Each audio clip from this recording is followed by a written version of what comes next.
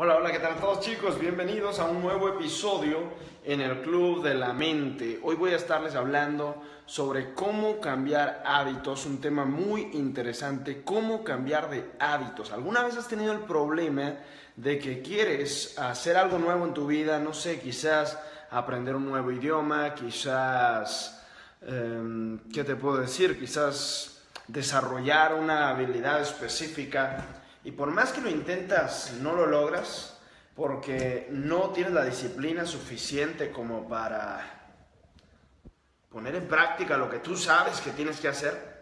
Porque para alcanzar el éxito, la realidad es que todos sabemos que hay que hacer. El problema es que muchos no lo hacen y por eso no lo logran. Hoy te voy a hablar sobre cómo cambiar de hábitos 30 días para cambiar de hábitos 21 días para cambiar de hábitos, 67 días para cambiar de hábitos. Es lo que muchas personas dicen.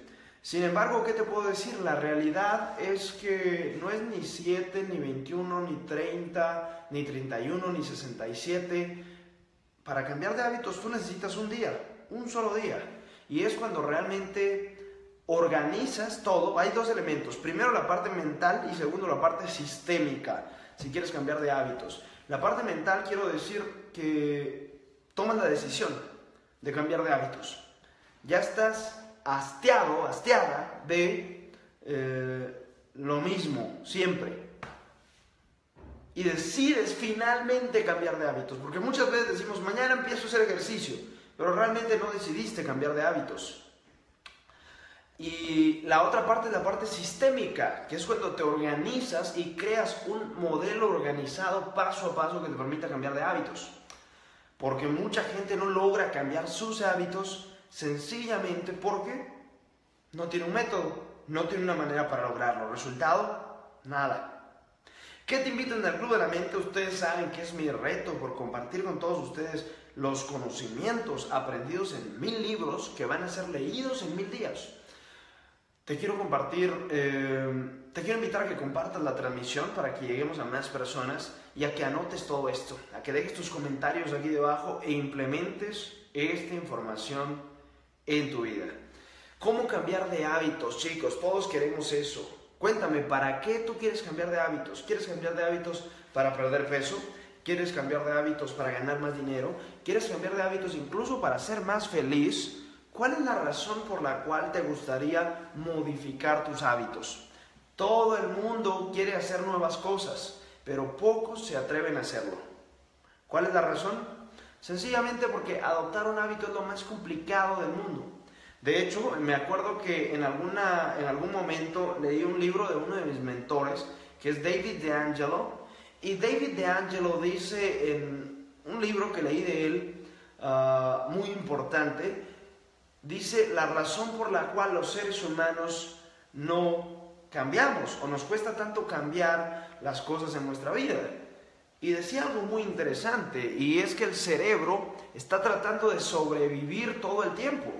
Y cualquier cambio que tú ejecutes en tu forma de vivir que sea distinto a lo que estás acostumbrado, entonces el cerebro piensa, si hasta hoy en día yo he funcionado y sobrevivido perfectamente haciendo esto, si yo lo elimino, mi supervivencia podría verse comprometida.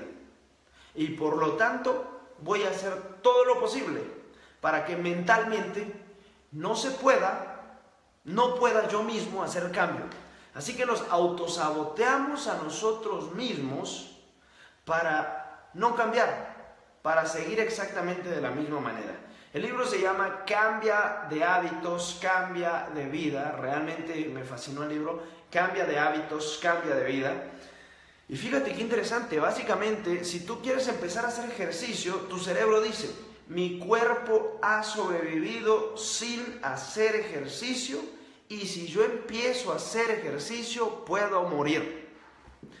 Otra persona puede ser que fume y diga, su cerebro realmente él quiere, ella quiere cambiar eso, quiere dejar de fumar. Sin embargo, su cerebro dice, hasta ahora fumando he sobrevivido, si cambio eso puedo morir.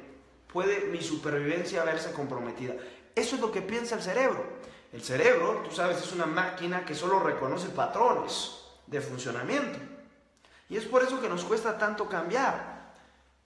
¿Y cómo se logra el cambio? ¿Será que motivándonos mucho todos los días se logra el cambio?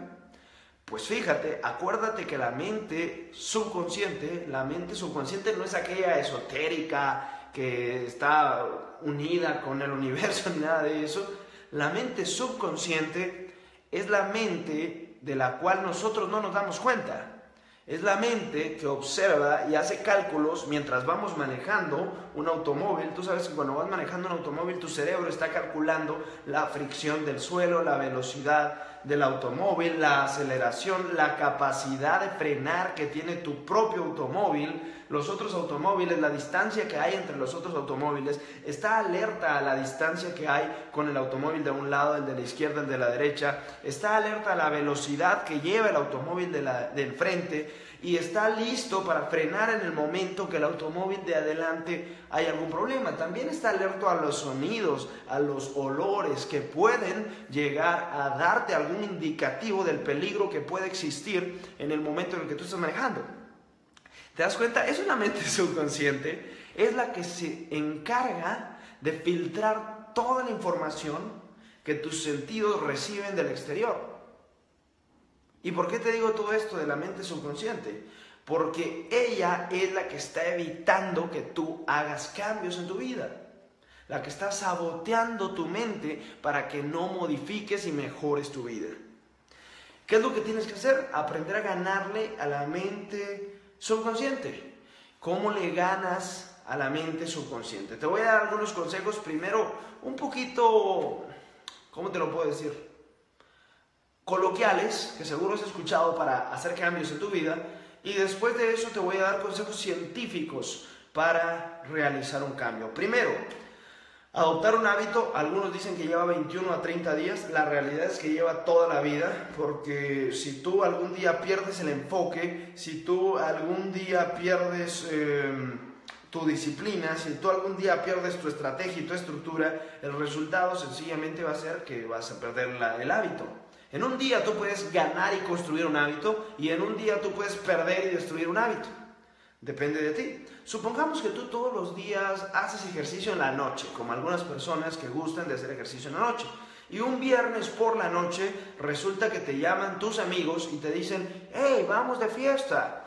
Y tú ves que son las 8 de la noche, hora de hacer ejercicio. Ya llevas más de 21 días haciendo ejercicio sin embargo, dices, hey, hace rato que no voy de fiesta y decides romper tu patrón, romper tu hábito e irte de fiesta.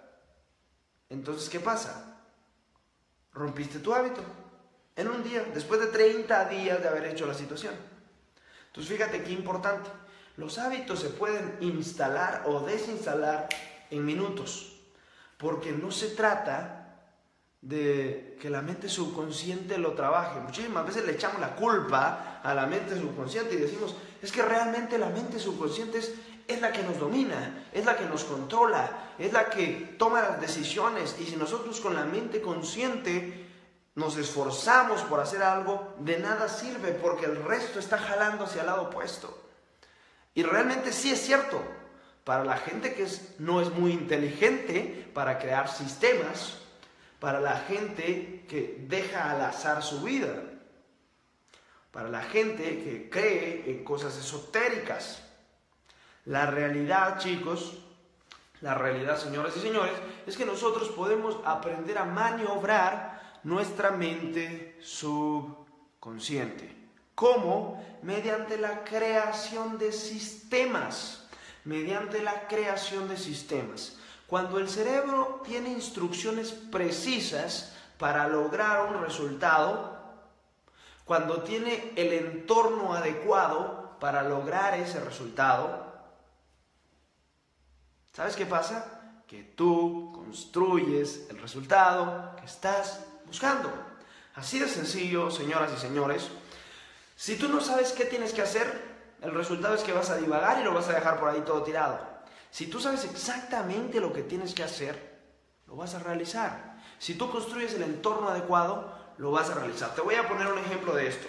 Si tú quieres aprender a hacer ejercicio y perder peso, y te reúnes solo con personas que tienen sobrepeso, que nunca hacen ejercicio, eh, en tu casa nadie hace ejercicio, todos comen mal, y tú dices, estoy motivado, hoy sí voy a hacer ejercicio. Mañana no haces ejercicio. No haces ejercicio.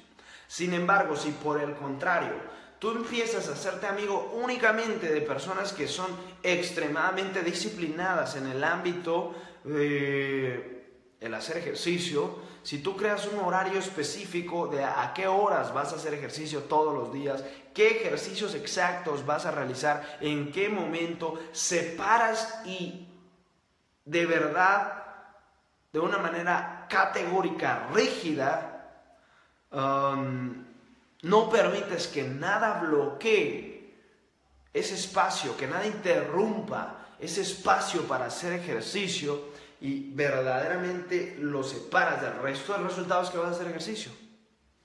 Exactamente lo mismo si vas a aprender un idioma nuevo, vas a aprender inglés y has tratado años y años y años y has comprado cursos y has visto la televisión y has ido a Estados Unidos y nunca aprendes.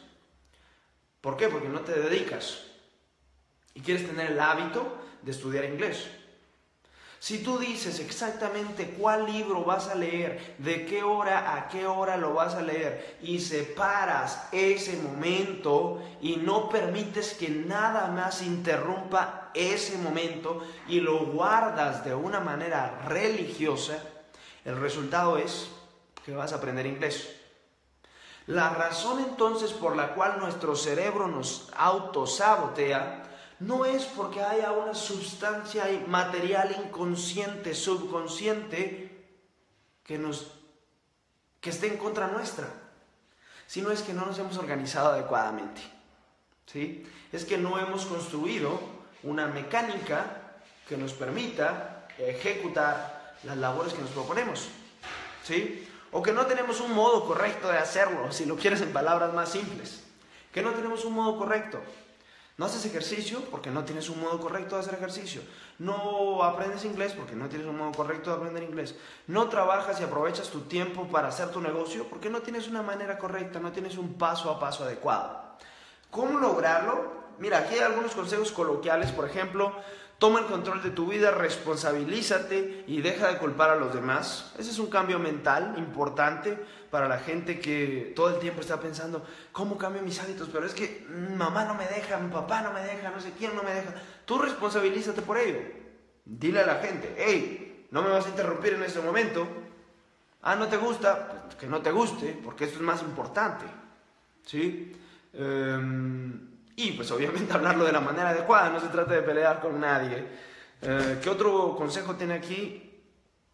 Cuando los planes que trazas no resulten como esperabas, ajusta ya nuevos planes. La vida es un experimento, te lo puedo decir personalmente, para hacer ejercicio. Yo traté de hacer ejercicio todos los días durante, ¿qué te puedo decir? Cuando tenía 15 años. Hasta los 22 años yo logré por primera vez tener un patrón de ejercicios perpetuo. ¿Qué quiero decir perpetuo?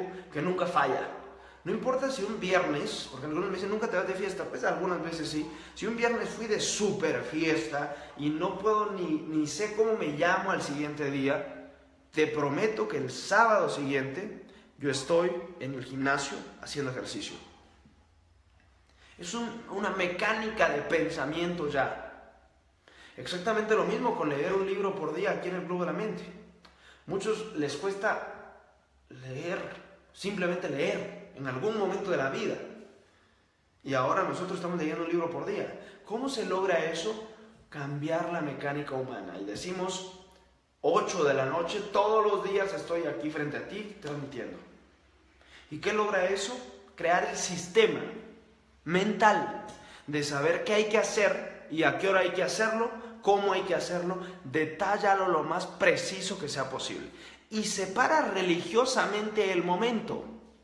Separa religiosamente el momento. Ese es el gran secreto para crear disciplina. Si tú lo dejas al aire, al aire va a pasar. Si tú dejas el barco a la deriva, a la deriva se va a ir. Si tú sueltas el timón, agarra para donde quiere. Aprende entonces que necesitas verdaderamente crear un sistema si quieres construir grandes resultados en tu vida. Vamos terminando con esto. Si tienes alguna duda sobre cómo crear hábitos, déjala aquí debajo. Sé que tú quieres crear hábitos, pero muchas veces no lo logras. Te acabo de decir por qué. ¿Qué dudas tienes? ¿Qué hábitos has tratado de implementar y no has logrado hacerlo? Y dime, para poder apoyarte. Tengo una frase final aquí en esta transmisión y es, si quieres ponerte a prueba, tienes que dejar la zona de confort. Eso es definitivo. Para cambiar un hábito hay que dejar para siempre, de una vez por todas y para siempre, la zona de confort. Robert pregunta el nombre del libro, Cambia de hábitos, cambia de vida. Cambia de hábitos, cambia de vida. ¿Quieres poner a prueba y tener retos, cambiar tus hábitos fuera de zona de confort? En lo normal, en lo tradicional, en lo de siempre, no vas a lograr cambiar hábitos. Los hábitos se cambian saliendo de la comodidad, haciendo cosas totalmente nuevas. Algunos dicen, eh, quiero hacer ejercicio y siempre pongo ejercicio porque es lo que todo el mundo quiere y no logra, ¿no? Eh, pero digamos, quiero escribir todos los días una hora, por ejemplo, es algo que yo estoy haciendo ahora, escribir todos los días una hora, pero no sé, voy a empezar escribiendo tres palabras no funciona. Tienes que cambiar hábitos de manera radical, radical, para poder alcanzar grandes, grandes resultados. Abraham dice, sin excusas, siempre hay que ser responsables y disciplinados en lo que se quiere lograr. Por supuesto que sí, Abraham, por supuesto que sí. Entonces fíjense chicos, estamos hablando de esto, terminemos con este episodio del Club de la Mente. Vamos a seguir trayendo más sorpresas, vamos a seguir trayendo más regalos para todos ustedes. Así que prepárense, nos vemos mañana. Un abrazo para todos. Mi nombre es Gabriel Blanco y esto fue un episodio más del Club de la Mente.